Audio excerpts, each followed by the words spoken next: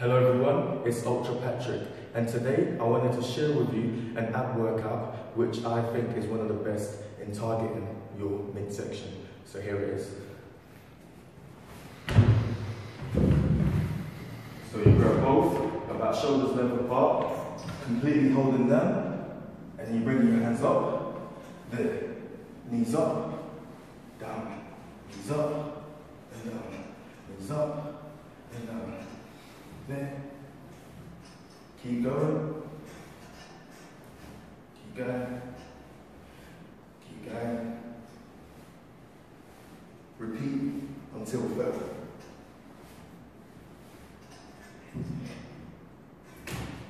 Give it a go.